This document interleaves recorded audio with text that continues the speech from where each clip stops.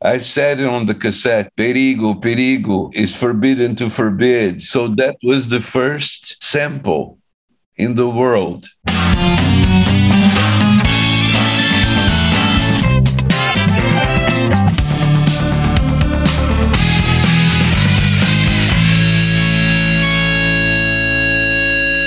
Welcome to Discograffiti, the podcast that gives Gen X music maniacs a chance to smell like teen spirit again by connecting with a brotherhood obsessed with rating the entire discography of every single artist and band that ever mattered. I'm your host, Dave Gebroe, and with three new episodes each week, you're going to gain a comprehensive knowledge of an act's history and output in the time it takes to listen to one album. And in this episode of Discograffiti, we'll be turning our spray can hands on the first two classic records by Os Mutantes with very special guest Sergio Dias, the main man behind the wheel of the aforementioned incredible band.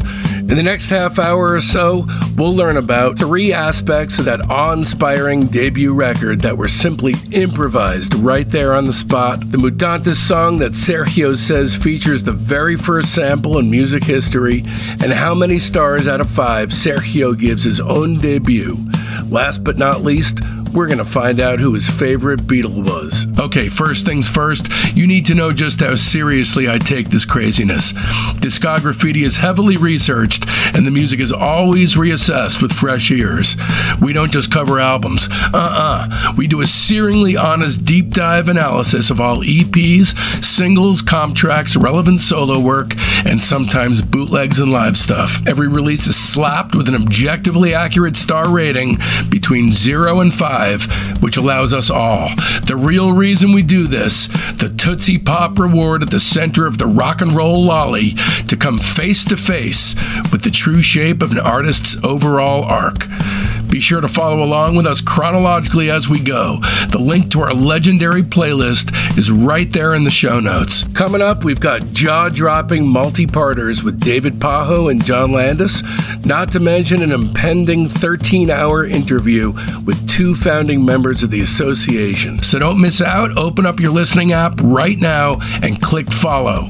And get ready to meet your new friends. They're all kicking it right now in our Facebook group, Discograffiti Soldiers of sound. That's the best way to find out what's coming up on the show, but there's a hell of a lot more. You get recaps of the day in music history, great artist and track recommendations, polls that put you in the driver's seat on guest and show topic decisions, access to a thriving creative hub if you're looking for your next collaborator, and much more. So make sure you don't miss out. You can find the link to the Discograffiti Soldiers of Sound Facebook page right there in the show notes. One final note you're going to hear Sergio profess his love for me, as well as a promise to continue the interview literally on a daily basis.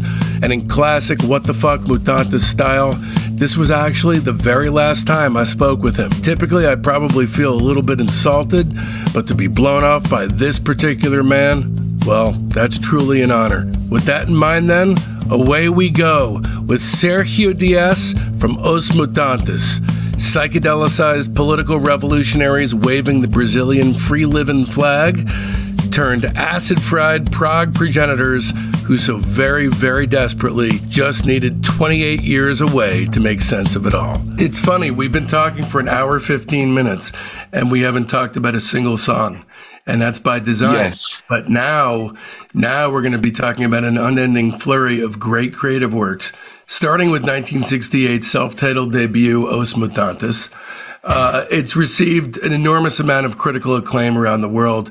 It needs very little help from me. You know, Mojo put it at number 12 of the 50 most out there albums of all time. Rolling Stone, you know, who gives a shit about Rolling Stone? But still, number nine on the list of 100 greatest well, Brazilian albums of all time. After being number nine on their list, I, I I care a lot about them. sure, absolutely. Sometimes they get it right. But number nine of the greatest Brazilian albums of all time, uh, it belongs higher on that list, in my opinion. Uh, also, number 39 on Rolling Stone's top 40 stoner albums. There's not a single misstep on this whole record. Straight from the first song, if you have not heard uh, Panis e Circenses, written by Gilberto Gil and Caetano Veloso, but this is musically sort of a statement of intent because yeah, the thing, the thing, for example, if you think, I mean, the power of Os Mutantes is, for example, Gil and Caetano, they wrote Panis et Circenses They never recorded because it would be impossible to do overdo. I mean, to beat us. Jorge Ben, he did Minha Menina, is one of the, his greatest hits. He never recorded also. Really? Yes. I, that I didn't know. It, that song is beyond good. I mean, it's. Yes. And this, if you can, if you imagine that song, we met him on, on the studio and everything was an improvisation. Even the vocals, the ooh, ooh, ahs, sure. and was in local without rehearsal. Amazing. So I mean, really this is amazing. A, a pure manifestation of Mutantes playing with a genius as uh, Jorge Ben. This record begins, and if you don't know what you're in for, uh, within two minutes, you're treated to a trumpet fanfare, ascending technicolor harmonies that build very confidently in intensity. Then very exciting sunshine pop melodies that burst out and explode like fireworks in the night sky, a flute solo, a quickening, stroke inducing tempo wind up, the crash of breaking glass, even a fucking field recording no, in at the end. No, so but it, there's it, something that, that you don't know and nobody knows. What? You know, when, when the Blue Danube come, comes in the end of the song? Yes, yes. You know how that thing happened? No, I had no idea we were playing, we finished the song, and I closed my wah. I put put it back to ooh. The, there was a radio station close by, and the the Blue Danube came through my wah, and it manifests like in perfect quality. Yeah. And the great thing is that the engineers they didn't stop the machines. So are these the same, you know, old squares in lab coats that were wandering around Abbey Road, or was had things progressed a little bit more in Brazil? No, no, they they were rat labs. Yeah, they were great. But for, what I mean is, for them, that thing that is so powerful because then then in the end we play the part of the dinner party, right? Mm-hmm. You say, "Oh, pass me the salad here," and all this. Without that song, underneath wouldn't be as half of strong. I mean, with the Blue Danube, da da da da da da, you know, it was like wow. It, it was perfection. I mean, it was. I think we were definitely blessed by the universe, and we were picked up to be born together and to do everything that we did, because so many things happen like this in our lives that that was is is too much. It seems like a lot of forethought went into compiling this record, but it also there is a feeling that you guys are just progressing by the skin of your teeth. You're not looking around, you're not stopping to take it in or try to make sense of it. You're creating in the moment. It feels yes. it and you're not questioning it. Yes, for example, the Le Premier Bonheur du Jour. Mm-hmm. We heard the Beatles putting like reverse tape hi hat. Right. We had no idea what the hell was that. So, but we wanted to put that sound. So the only thing that we could find that would sound a little bit like would be like a insecticide pump. Right. So that's what we use to do that. Uh, the opening several songs, I mean, the whole record is great. There's there's nothing that's not great on this record, but really the first, the flurry of the first several songs is fucking dizzying. Minha Menina is so good. Uh, yes. Initially, that was this. I could not believe how great that song was when I first heard it and I think from the beginning, that's always been my favorite. Uh, from the record, it's well, just you can you can see, for example, that we we have like the the verse, and then we have the part B, right? A lua prateada se escondeu, And then in the second time that this happened, nobody knew what was going on. So we kept on the the Minha Menina uh, verse beat. And then Arnaldo just came, a lua prateada. So we whoop, jumped on the the second uh, on the B part. And so that shows how unprepared that song was done and how spontaneous it was. It feels like the definition of pure liberation. I think it's because after the verses, the way melodically that that chorus just keeps building and building and building. By the time you get to uh, yeah, by the time we're there, I am floating on a cloud of ecstasy. That yeah, is- but imagine that those two voices was improvisation, me and Rita. You're telling me you didn't work out any of those harmonies beforehand? No, it's amazing. For example, there's there was a, there's a little piece which is like do do do yeah, mm-hmm. which me and Rita did. It was like gift from the the gods. The next song, O, o Relogio? O Relógio. O Relogio. I remember clearly the very last time I did LSD uh, in a way that would make me actually go on an, a, a, real trip was 1998. That night, I, li- I listened to this record, uh, you know, one of many, many times I've heard it. And I had a very connective experience with that song mainly because right out of college, you know, just like you, I thought I'm a professional. I know what I'm doing. Uh, uh-huh. I'm a filmmaker. So I left school to make a movie, and the movie was called Jesus 2. And in the first line, great, we'd love first, to see that. The first line of the song, I kept rewinding it over and over because I'm thinking, is she saying Jesus 2? Uh, yes, of course. Is she saying Jesus 2? The, the first line of that song lyrically, she's saying something like, Jesus, do, do, do, do, do, no, do. She sings, O relógio parou. I mean, the watch stopped. Okay. The time stopped. The vibe on this song is so yes. amazing, so dark and mysterious. And then it is because she says uh, it doesn't matter if he's a Swiss or English, the watch, and he has like 24 rubies. And she describes the idea of, of a, a watch, but as a tempo, you know, I mean, as.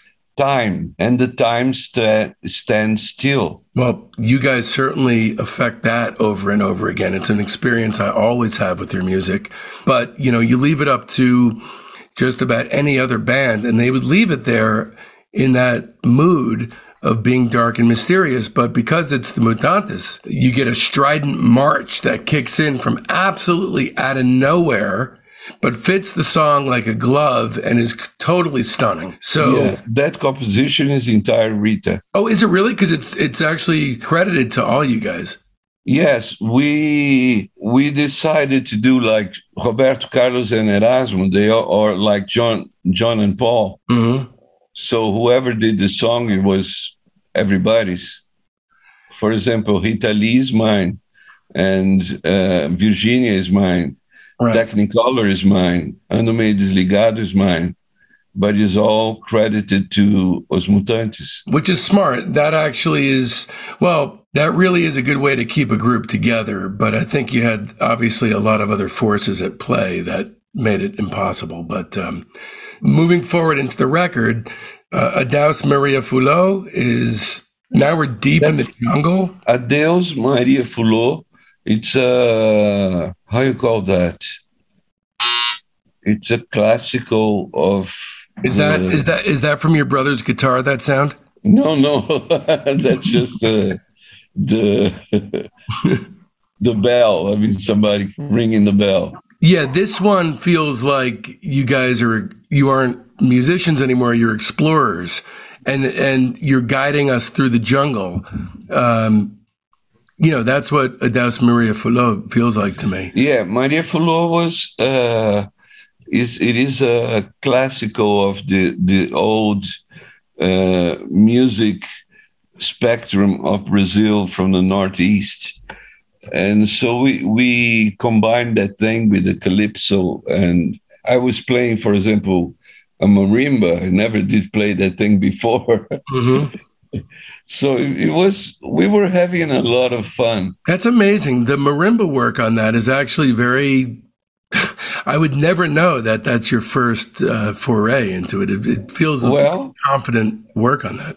Well if you think about it it's just 13 notes in the entire world. So if you hit there, you might miss one or two, but you ended up making some sense somehow. Look, you say that in a way that makes sense of what you did, but really what you did was you you picked up an instrument that you had had no prior experience, and what you did was you created what was the perfect track for that song and that's that you know that not yeah. not anyone can do that well there was another another one which was fun uh, when we played uh, with Gilberto Gil uh, I mean with Nana Caymmi Bom Dia I didn't know how to play how to read chords. And so the maestro came and said, Oh, it's, it's simple, don't worry. You see, A is La, B is C, C is Do,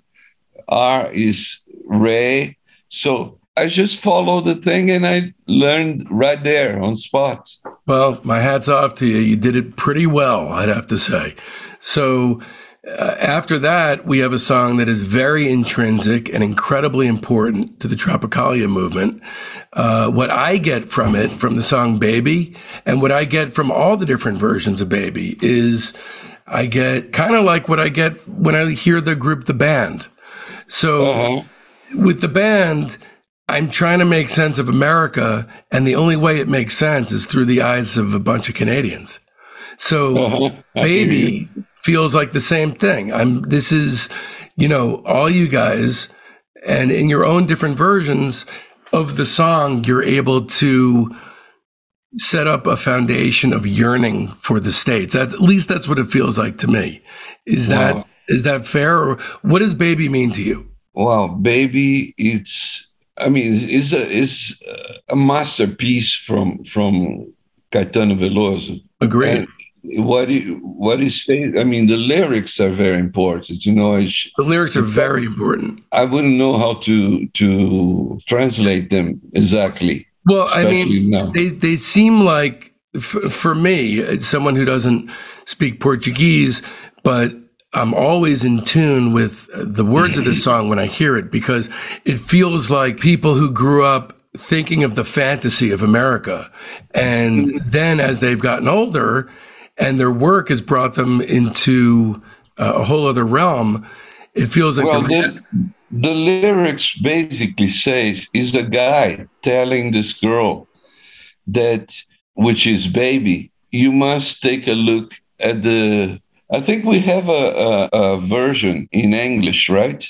Yeah on technicolor. Yeah you must take a look at the swimming pool or the gasolina. Yeah the the gasoline you know. The great thing is that the lyrics flow according to the sound also the words. They right. don't have to make sense. Well they're like it feels like snapshots of visions of yes. Caetano is a genius you know. Caetano is oh my god. Uh, also the paul anka coda of diana oh yes. is, is really really i went the other day you know i'm living in vegas and uh, I, w- I went to la and I stopped in uh, Peggy Sue, and there was uh, like uh, pictures of everybody, Annette Funicello, you know, Frank Valli, and Ann-Margret, you know, all those those people that we used to die for. I mean, put your hand on my shoulder. My God, yeah, this is perfection. I mean, we started me and Arnaldo before the bands. We started singing like Everly Brothers, you know, uh, Righteous Brothers and because our, our vocals are, were, I mean, you know, brothers, they they're the best mix so well. Oh, perfect. Yeah. So now on the second side of this record, we I think it starts off with Senhor F, which is your your very first song. Yes. But then of course, you know, not it's not enough to just have a great song. You you need two fake endings and a double coda. I mean, you know, uh, I'm guessing maybe yeah a tip of the hat to Strawberry Fields, but but also beating them at their own game. Well, my mother is basically playing uh, the overture of the Grieg concerto. And there was all the those uh, the horns that that Duprat did. Mm-hmm. You know, it, it was. How can I describe this thing? We just were having so much fun. It's not even a party; it's much more. It's a, I don't know how to describe. It's like magic, discovering like uh, from from the shadow of Jesus Christ to the robes of Muhammad, the shield of arms of Ramses II, you know, or Ben Hur, you yeah. know, the, the, all of this was mixed, and we we mixed this without any any effort or any misbehaving or anything like that. You know, Here, that was here's what I like. Just, what I like about the mixing is that you don't mix it so hard that it all coheres together. What I like is that you guys make it very clear that the influences are they're sitting there and they're separate. Like you go, it's almost like changing TV stations. For example, yes. you know, the first song, you know, we we go from the breaking glass to the blue Danube to the building of the harmonies to the solo to you know, it's it's uh it's kids. You know, it's like who's time, who the fuck has time to blend this stuff? Here's all the stuff we love. You sort it out, and we're going to move on to the next thing. Yes. My God. Hey, lads and ladies, Dave Gebroe here. I abandoned my career and moved my family 3,000 miles to be able to focus exclusively on Discograffiti. And so, if you're like me and enough is just never enough, then please visit patreon.com slash discograffiti and become one of our Patreon soldiers of sound. Discograffiti is an entirely listener supported show, and it's also intended to be a three times a week music deep dive experience. So do us both a favor and consider giving it a shot. Trust me, I'm working hard for the money, so hard for it, honey. There's the main show on Friday, a Monday wildcard episode, which is either a soul bearing interview with that week's special guest or an offshoot show like Queasy Listening and Rock Cousteau. And then on Wednesdays, there's the humdinger of them all Discograffiti's The Private Press with Paul Major. You got nothing to lose. If you don't dig it after a month, you're refunded, no questions asked. Once again, that's patreon.com slash discograffiti. And so then Le Premier Bonheur du Jour, a Le beautiful Françoise Hardy cover, uh, yes. Trem Fantasma. Uh, Trem Fantasma is a masterpiece. I it's mean, great, it's yeah. Mutantes and, and Caetano. I remember like today writing that song. I was actually at this indoor playground when I was writing notes for this. My son was climbing all over the place and I was just furiously typing into my phone. You know, my main question is because you have these, okay, it starts off with these bee buzz flutes that swarm over a martial drum rhythm that somehow introduces this soft psych tambourine propelled uh, sunshine harmony that explodes into a brass infused go go breakout. I mean, I don't even know what the. I, am so enthralled by all the the disparate. you know, you know what's the best thing? Don't put a title on it. Oh yeah, it is yeah. basically rock and roll. Totally, yeah, the, uh, yeah. It's the spirit of freedom that rock and roll always brought with it.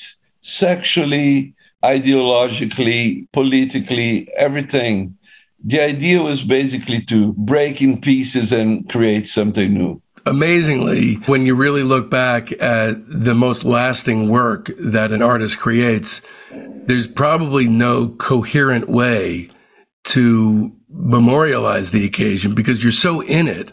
You're so ensconced in the act of creation that if I asked you the question, what in the hell was, what do you think was the guiding force pushing your hand across those notebook pages as you were writing this, I'd be willing to bet anything that you probably could not answer that. What is the invisible hand guiding the writing? Oh, I think the best way to describe this is it was meant to be. It really and, was. And of course, there was a interference of mm. of the cosmos. What I can say is we were part at a moment of life that we had to reflect the images that people couldn't even see from the of themselves right so we were basically extremely good mirrors and we would basically be answering the questions that they even didn't know they were asking mm-hmm. and this yeah. is magic it is pure magic it sure is this is this album is a masterpiece and anyone who is interested in music to the extent that the listeners of our show are interested in music, which is the eternal quest for a great album. And then the feeling that that brings to you when you discover that record. This is one in a line of those kinds of records where it blew my mind and never ceases to continue blowing it when I put it back on. This one is a hard five stars. Between zero yes. and five, it's a five for me. How, what would you give this one from zero to five with all fractions being acceptable? I would say it's like 11. Yep, agreed. Okay, yeah. moving into 1969. Mutantes. The name of your band is so good it had to be utilized a second time for an album title. So yes. This to me feels like the only record that is the tr- a true follow up to the first one but it also yeah. introduces some of the the progressive and funk elements. There's a an amazing thing that happened in this album, or when we were playing uh, the Caminhante Noturno. If you know, if you look at the picture of the the album cover, great photo. Rita is holding a black thing. What is it? Do you do you remember that? I don't, but I'm typing it in right now so I can see it. What is that it? thing? It's a cassette recorder. Okay. So that was the first sample in the world because no I said I said it on the cassette. Danger, danger, Will Robbins. Uh, you know, in yeah. Portuguese. Perigo, perigo is forbidden to forbid. You know, and she in the end she just pressed play. This was a big deal for you guys because the record uses uh, a lot of found objects and samples from television and movies. You were making headway in that arena, and there was nobody really doing that. Well, I think we're weird. You know? uh, yeah, I think you're pretty weird too. Thank God. Uh, this record, it's worth keeping in mind that as opposed to the debut, which everyone loves, but the second record is mostly made up of material composed by you guys uh, on yes. your own. And I think mainly because of the the increased focus on composition, the arrangements they mostly seem a little bit less out there than on the first LP. There's still a lot of weirdness, you know, that's around, but it's not as uh, holy shit. Like where I like I can't even get a firm stance here. I can't even like stand still without being knocked sideways every five seconds. Uh-huh. Uh, but uh, that being said, the songs are fantastic. Uh, Don Quixote kind of enters. Yeah, I mean, Don Quixote is a, it's a absurdity for the time. One thing I'm noticing is that there's a heavier feeling to it. You know, you yes. Guys, it's not a, it, there's not as much of a of a light, buoyant sort of. No, you know, for for example, the beginning of Don Quixote is uh, the opera Aida in a minor key uh-huh. with the at the same time with the theme of Ben Hur because we went to the movies and we we lo- loved the thing, so we decided to mix everything. Yeah, whatever's around. Yeah, and but I mean those two things were specific. There's also a, a, a bunch of noises of people passing by, like right. in our head there was a movie for this you know we we could hear like ben hur and, right. and the trumpets and and Aida at the same time, you know, and, and you know all this guys passing by going like to the the Coliseum or some shit like that, you know. Yeah, yeah. The lyrics of Don Quixote is like too much. Is is I mean, you have to be uh, very good in Portuguese to understand the the connection of all the words and mm-hmm. the onomatopoeic. A vida é o moinho, é o sonho, caminha do Sancho Quixote chupando chiclete. There's always the, all those shh, shh, shh, shh, shh, and this thing was like nobody ever did that. Whoa. Hey, that sounded pretty cool too. You should sample that. Did the table just move?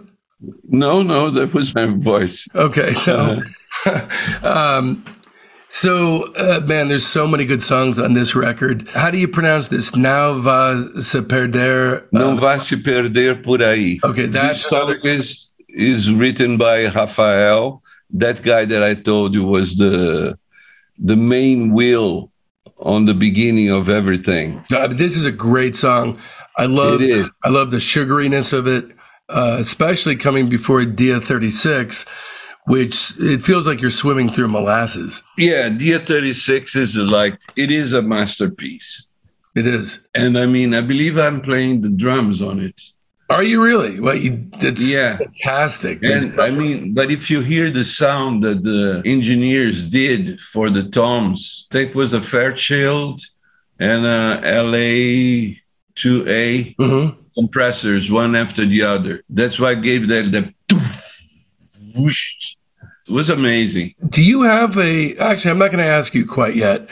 Uh, I'll wait till later. I'm curious about you know the albums that, that are closest to your heart that you guys have done. But no. let's, let's we'll talk later about that. Um, it's impossible. Impossible. It's impossible for me to say that I like this better than than the other. I think it's like Beatles. I have a favorite Beatle, which was George. Mm-hmm. But I don't have a favorite album of the Beatles. I can tell you for sure it's Revolver. Well, is one one for sure the best that they did, especially with Tomorrow Never Knows. I mean, that right. what the hell is? If I try to do to recreate that thing with all the technology that we have today, I wouldn't be able to do, come close to that. Right. Right, because just like with you, it's pure inspiration. This is not based on any kind of formula. Uh-huh. David, could we uh, keep on this interview a little bit later? Because I'm starving. I didn't eat anything. Uh, look, I'll do whatever is needed for you. I uh, have a job. I'm at my job. I, I start working in an hour and a half. I don't know how long you need, but uh, sure, I'll accommodate whatever you need. Oh, okay. So, what should I do? How long do you need to eat? I don't know. I, I need to wake up. I'm still in bed. I didn't even go to pee. well, I mean, you know, you don't have to get out of bed, but uh, you certainly. no, I don't want to be in my bed. You, no, you certainly. I recommend peeing in the toilet and then hanging yeah, out. It's, it's yeah. a it's a better better, better idea. so, do you want to? I don't know. You tell me what you want to do. In a perfect world, how would you do it? In a perfect world, I would continue this tomorrow, for example, because today I have rehearsal, and we don't don't play for more than two and a half years. Listen, so, I'll do I'll do whatever it is to. Uh, so to- I, I think that because I see this is going to be a very long thing, and uh, I'm very glad that we're doing this because it is history. Yeah. And but I need to take care of all those other things that are happening at the same time here. Look, for you to accommodate this, uh, I'll do whatever you want. So just let's keep on doing like daily you got it. Look, I'm I'm good tomorrow. I wake up in the middle of the night. I can do this whenever you want. The ideal for me would be like 10 a.m. my time here. You got it. I'll see you 10 a.m. tomorrow morning. Okay. I love you, David. Thank I you love so you, much. I love you too. I'm having a blast, and I want to keep it that way for you. And then we'll, uh, you know, we'll go. We'll have some fun with this tomorrow. Okay, man. So I'm so sorry, but you know, I need to do those other things. No, no, you don't. You don't owe me an apology. Look, here's the thing. Uh, Aaron told me that I had an hour, and I only had my fingers crossed that I could trick you into staying on for a long time with me. I'm glad I didn't have to trick you. no, it was cool. This is going to be amazing. If it's two, three, four, however many episodes it is, uh, that's what we'll do. So if it's uh, Mutantes month It'll be Mutantes month. Wow. All right. Thank you so much, man. All right. That just about does it. A heartfelt Discograffiti thanks goes out to our graphic designer, Todd Zimmer, my beautiful wife and son, Jen and Mason, Sergio Dias, my incredibly loyal fans, and especially the entire Patreon community, the soldiers of sound. I love every last one of you, and this show would not exist without you. But wait just a minute. This is just the entrance to the rabbit hole. No need to stop now because we're on a roll. Join us as we descend down, down, down on this South American psych deep dive. Another way to dive even deeper is to get thee directly to last week's Sergio Dias Part 1, which is episode 86. Of course, if you're subscribing to our Patreon, then you already know to keep your ears peeled throughout the week, because this Monday continues the Os Mutantes Love with our Patreon only wildcard episode, the Os Mutantes Buyer's Guide, a Cliff Notes style star rating packed overview of the entire output of the band make up for the fact that Sergio left me in the lurch. Not to mention Wednesday's incredible Patreon only episode of Discograffiti's The Private Press with Paul Major, wherein we'll be covering Los Vidrios Quebrados Fictions LP, a 1967 Chilean psych gem. That's patreon.com slash discograffiti. This is an entirely listener supported show and I offer a full, no questions asked money back guarantee. So if you dug this episode, you don't have an excuse. Check it out right this second. Thank you so much in advance. And be sure to mark your calendars because next Friday, April 14th, we're coming at you with a truly soul bearing interview with Randy Randall from the incredible group No Age. And so, from now till then, don't let our youth go to waste, lads and ladies. It's Discograffiti.